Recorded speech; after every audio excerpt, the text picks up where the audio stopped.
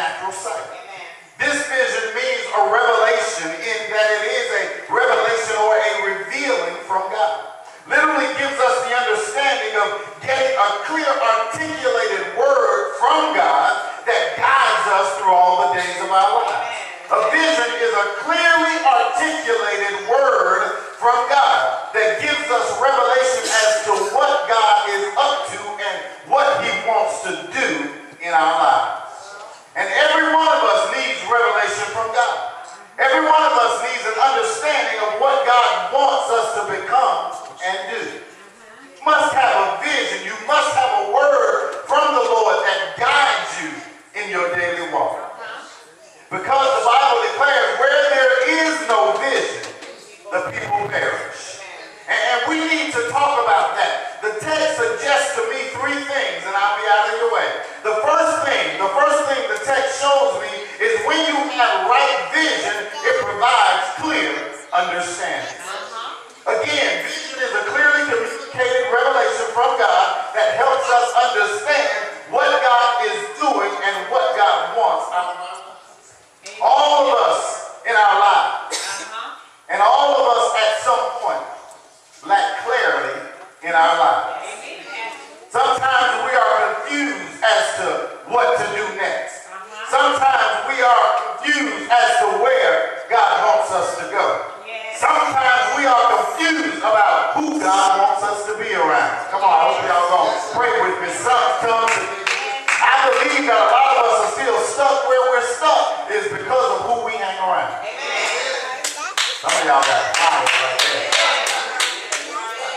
Because the truth is, there are people that are around you that don't want to see you progress. So they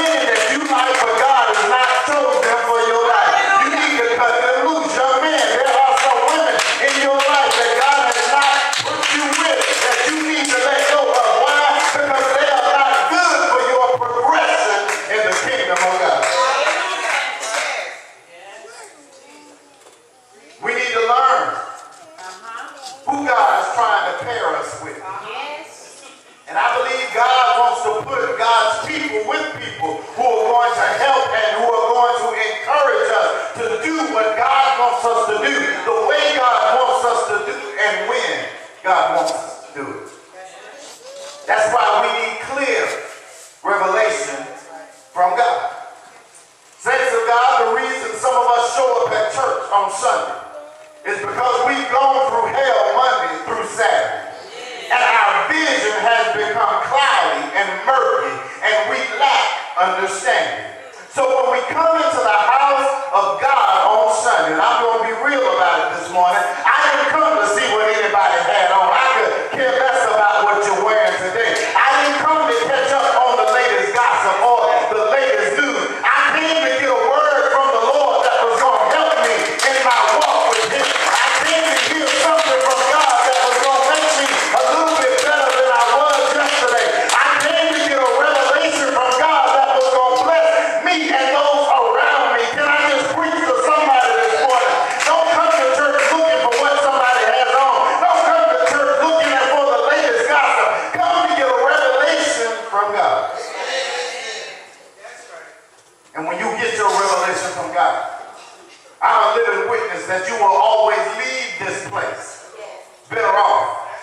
than when you came in.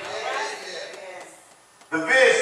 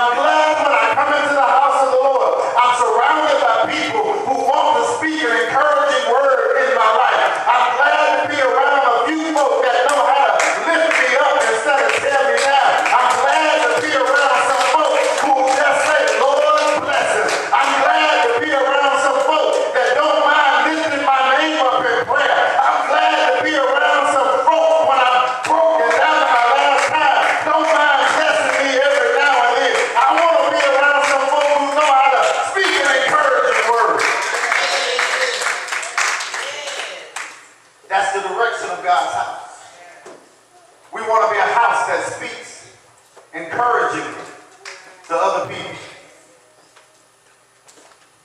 You may not like the way somebody dresses based on what you used to. But I learned a long time ago that if you pray with them and for them long enough, God will bless them to be able to buy things that you might seem to feel are more appropriate. But whatever it is, God never barred anybody from his kingdom based on what they had on.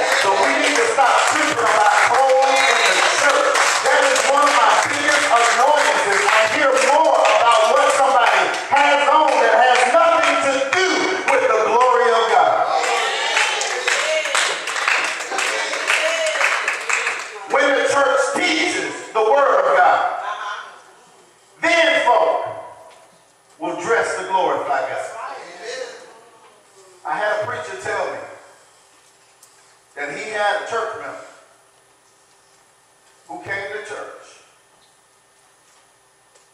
And you could tell, I mean, he knew she had gone to the club the night before. All right.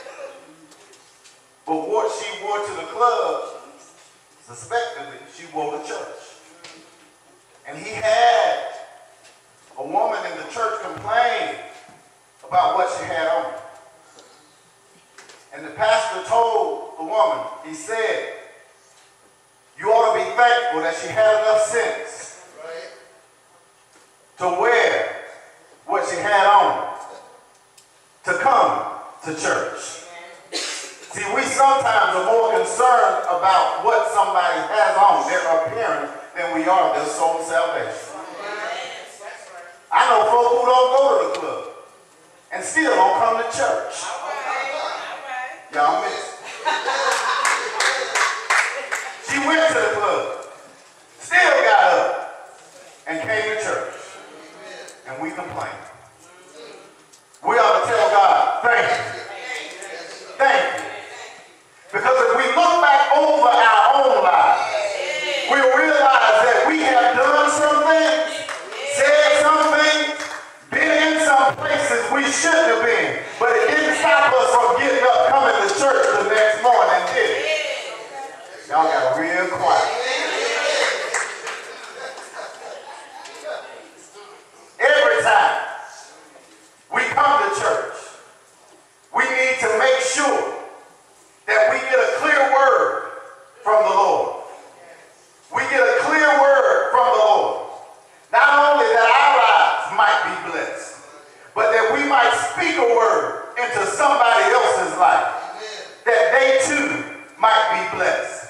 The word of the Lord says the power of life and death lie in the tongue. The tongue can either bless or the tongue can destroy. And I don't know about you, but I don't want to be responsible for destroying anybody's life. My mama told me a long time ago, she said, if you can't say nothing good about somebody, don't say anything at all. Every now and then, some of us just need to keep our mouths shut. Thank you, Lord. All right. Hallelujah. The second thing the text shows me is improper vision brings enmity. Enmity is when there is frustration, brokenness, and bitterness. The Bible says if you don't have vision, you will perish. When you don't have a clear word from the Lord, when you don't have a revelation from God,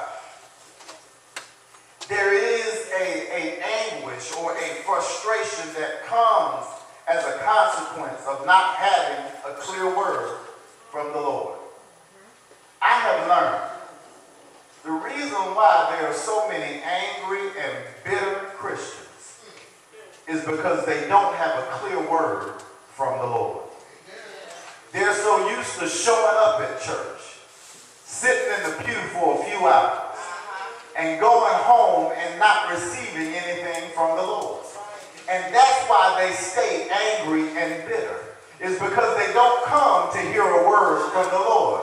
They come to talk about the latest gossip. They come to talk about what somebody has on. They come to talk about what somebody did on last night instead of focusing on a clear word from the Lord. And guess what? A clear word from the Lord does not have to come from a preacher you like.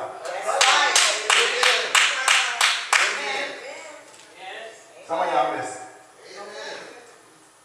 Some of us don't want to hear the word if we don't like the person that's presenting the word. Some of us get so caught up in being entertained, we forget about being taught. It doesn't matter who's bringing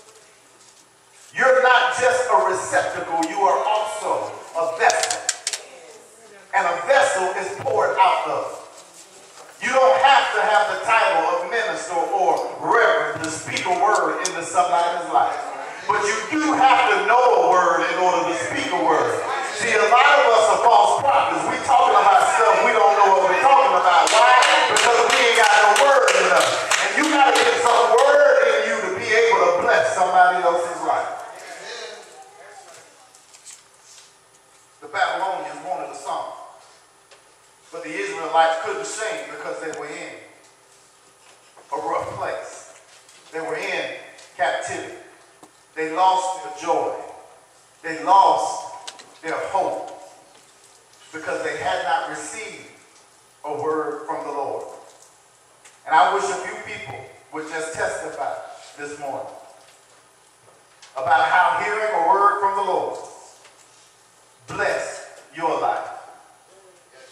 I would like to believe that you heard it from me, but if you didn't, whoever you heard it from, we ought to bless the name of the Lord that we heard something that blessed us in our lives, that helped us in our lives, that gave us joy in our rough time, that gave us peace in the midst of our storm. Because can I tell you something? Guess what? Just because you are not in a storm right now doesn't mean that you won't be going back into one. And whenever you go into one, you ought to have enough in you to be able to speak to whatever storm you're going through and tell that storm, peace, be still.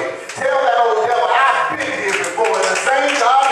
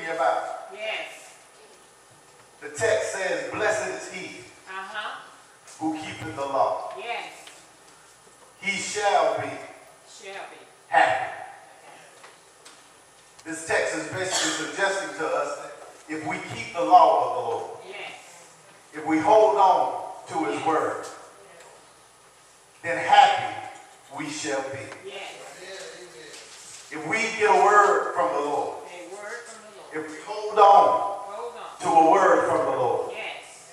joy, joy, we shall have. If we get a word from the Lord, if we hold on to a word from the Lord, peace, we shall have. It doesn't mean that we won't go through some storms. It doesn't mean that we won't have some dark days. But I stop by to tell somebody, if you hold on to a word from the Lord, the Lord will bless you with everything you need to be sustained while you're going through what you're going through. Am I talking to anybody? Let me just tell you my testimony for those of you that don't know. For two and a half years, I have work. I did not have a job. Believe me, I applied for every job that came up. It didn't matter what it was. I applied for it. Only three people called me, probably out of 70 to 100 applications. I did phone interviews. I got to the last round of interviews, and for some reason, they still didn't call me. But guess what? During that two and a half years, I didn't miss a meal. All the meals got paid.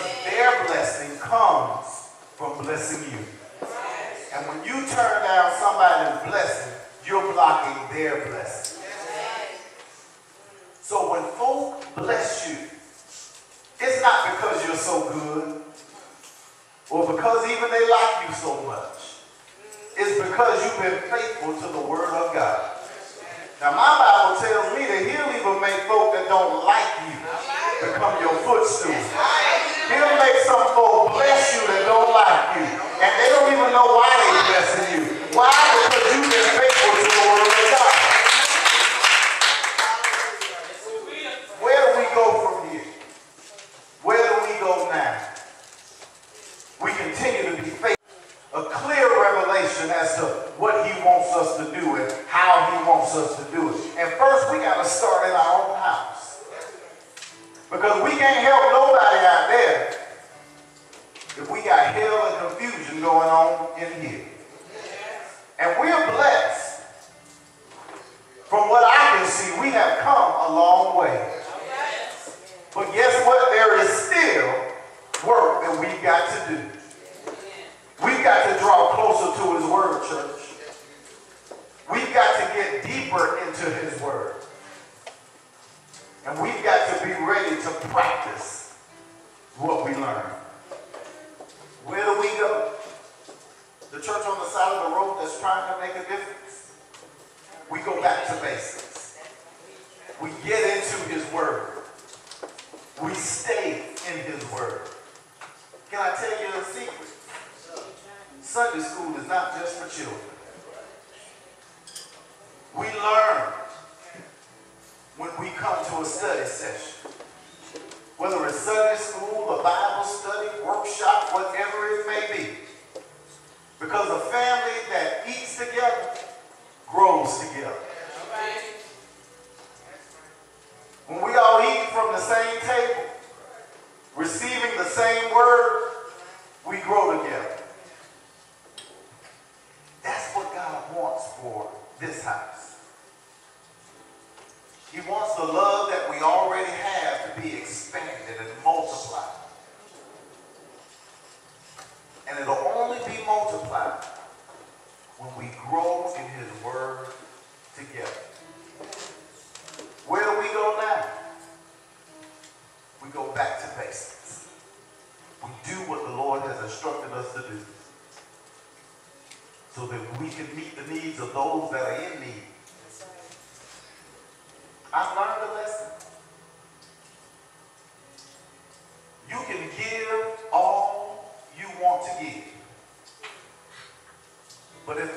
true feeling of love and what you're giving, Amen. folk won't appreciate it.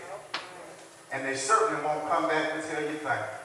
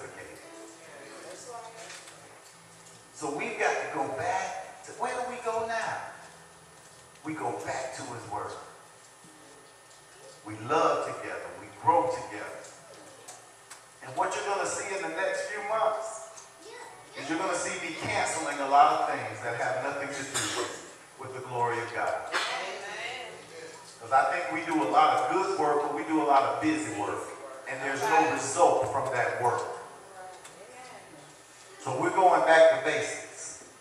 If you want to learn and grow, be in Sunday school Bible study and in worship.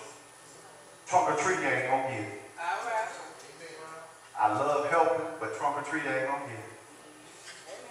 We've got to be willing to share his word. And in order to do that, I've got to ensure that we know the word in order to share the word. So if you desire to move in revelation with me, that God has given me, then I just ask you to stand and take your place. Do what God has called you to do. That we can be the church he's called us to be. That's the bottom line for me. I'm not going to hear God say, Troy, y'all had a good trunk or treat down I want to hear him say, Troy, well done, thy good and faithful servant.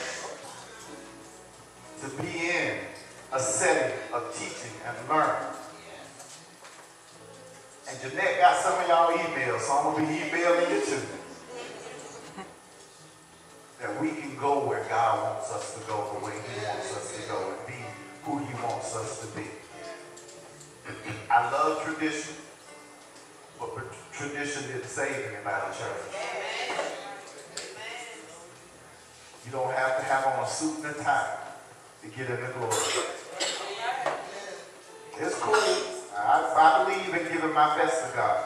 And y'all know I like your dress but it didn't save anybody. That's not our focus.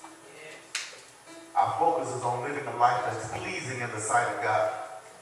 And when we live a life that's pleasing in the sight of God, guess what? Everybody likes to be a part of something good. When they see good in your life, they're going to want to know, hmm, how they get that good? How did they get there? And it opens up the door for you to tell them it was only by the grace and mercy of God. So if you're here today you desire to accept the Lord as your Savior, now is the acceptable time. Don't talk about wait till tomorrow. Don't talk about next week. Don't talk about next month. Because none of us know when our last day is going to be. So we need to do what we need to do right now while we have a chance. Do it now. Then begin to walk in the will and the way of God. Let us all stand.